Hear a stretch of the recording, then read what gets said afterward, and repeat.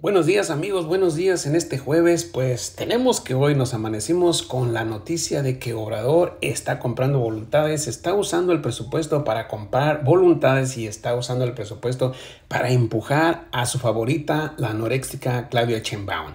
Y todo esto es un delito. Todo esto es un delito porque está usando dinero del presupuesto, dinero de los mexicanos, dinero de nuestros impuestos para hacer su voluntad, para comprar voluntades. Y esto es un delito. Ya no hay duda, esto es un delito. Y lo vamos a permitir los mexicanos, amigos. Esto es lo que nos va, es lo que vamos a permitir siempre que el gobierno nos esté humillando, quebrando todos los días la ley. Y este lo hace Obrador. Obrador está haciendo lo que criticaba cuando era candidato, que se repartían tinacos, frijol con gorgojo y todas las idioteces que ya saben que él dice que es muy bueno para convencer a la gente.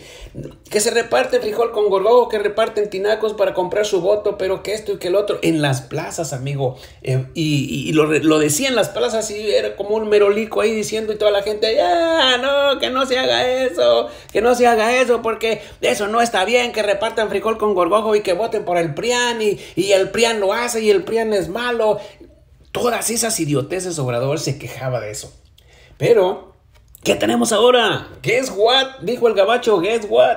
Ebrard se queja de lo mismo, se queja de todo esto, Ebrard, que lo está haciendo Obrador y Ebrard se queja de la traición de López y ya no aguanta esa tracción, esa tracción, Ebrard.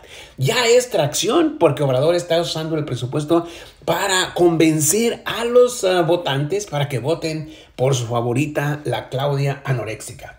El acarreo, amigos, el acarreo es burdo. El acarreo, el reparto del presupuesto para comprar votos ya es burdo. Parece que estamos en los años 80, en el tiempo del PRI. Ya no se puede esconder. Obrador es igual que el PRI. Por eso él tanto defiende el PRI de antes de los 90, el PRI de López Portillo, el PRI de Echeverría, de López Mateos. Ese PRI, de ahí viene Obrador. Este loco de Palacio está haciendo lo mismo. Se formó en esos tiempos, amigos. Esto era lo que lloraba y lloraba en las plazas públicas el inquilino de Palacio, el derroche del presupuesto, el reparto de frijol con gorgojo y aconsejaba a sus seguidores que tomaran lo que les dieran, pero que no votaran por el PRIAN. Eso es lo que las, aconsejaba. La manera de comprar voluntades de, los, pobres amigos, este se la sabe muy bien porque de ahí viene. Él fue entrenado en esa escuela. Ya Marcelo no aguanta las mismas chicanadas que le hicieron en el pasado. Obrador ha traicionado a Marcelo y este se ha aguantado, pero ahora ya no aguantó. Y salió Marcelo a hablar y a denunciar. Marcelo ya cantó y acusó a la secretaria del bienestar de estar usando recursos para, para favorecer a la anoréxica.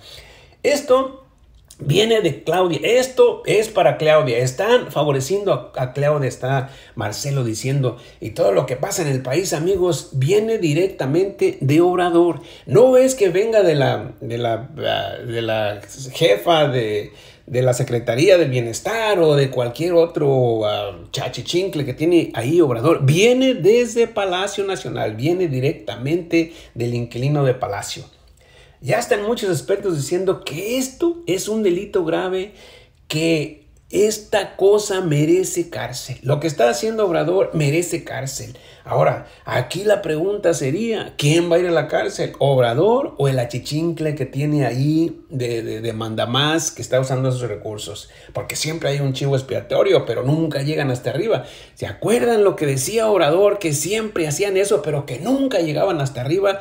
Pues ahora, amigos, tiene que llegar la justicia hasta arriba hasta el inquilino del palacio, porque él es el que hace todas estas cosas. No se mueve la hoja de un árbol en México si no es por la voluntad de este loco de palacio.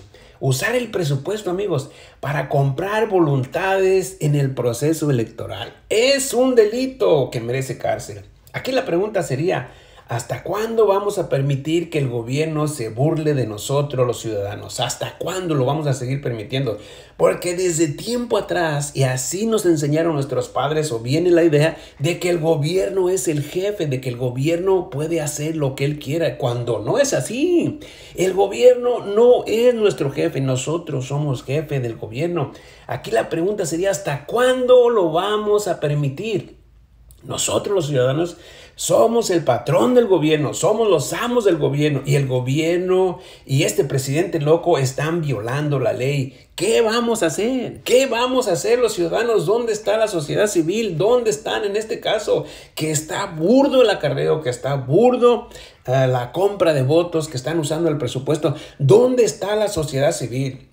Solamente un partido va a denunciar o ha denunciado que creo. Pero ¿dónde están los ciudadanos? ¿Dónde están los ciudadanos para parar este gobierno? Un país, un país entero, es de los ciudadanos. Los ciudadanos son los que tenemos que mandar en un país y si el gobierno está violando la ley, nosotros tenemos que castigar a este gobierno. ¿Por qué los gobiernos siempre han hecho lo que se les da su gana? Pues porque los ciudadanos lo permitimos. Los ciudadanos así nos impusieron y así nos metieron en la cabeza y esa idea viene desde la revolución, que el gobierno es el papá y nosotros somos los hijos, que el gobierno es el amo y nosotros somos los peones, que el gobierno es el autócrata, que es el, el, rey, y nosotros somos los esclavos. Esa idea viene desde la revolución, amigos, viene de la revolución. ¿Por qué hubo una revolución? Pues porque la gente se, se, enfadó de que Porfirio Díaz, de, según eso, les pusiera la pata en la cabeza y por eso hubo la revolución. Pero después de la revolución ya no fue Porfirio Díaz, sino fue, como dice Obrador, doña Porfiria. Y doña Porfiria es el gobierno y hasta este tiempo sigue igual. El gobierno sigue poniéndole la pata en la cabeza a los ciudadanos, nos sigue manteniendo en el piso con la pata arriba. ¿Hasta cuándo los ciudadanos nos vamos a levantar y le vamos a, vamos a revertir esto y vamos a decirle al gobierno que ellos son nuestros sirvientes. Ahora lo de Xochitl Gávez está pasando una cosa muy, muy rara allí, porque Xochitl Gávez va arriba en las encuestas y los partidos políticos, parece, según Ciro Gómez Leiva, la quieren bajar porque ella se está subiendo más y más y más para arriba. ¿Por qué? Porque ella realmente representa a los ciudadanos, representa lo que somos nosotros y que el gobierno va a ser nuestro amo. Pero eso no les gusta a los partidos políticos, no les gusta porque ellos quieren seguir siendo el amo. Ese es el problema. El problema de México es es que el gobierno se adueñó de todos, amigos. El gobierno se adueñó de los mares, del agua, del sol, del aire, de las, del petróleo, de, la electricidad, del oro y la plata. Se adueñó de todas las tierras. Ese es el problema. El problema no es que Obrador ah, viole la ley y, eh, tenga todos los recursos para comprar las voluntades. Eso lo está haciendo porque nosotros los ciudadanos lo permitimos. Aquí, aquí la pregunta sería,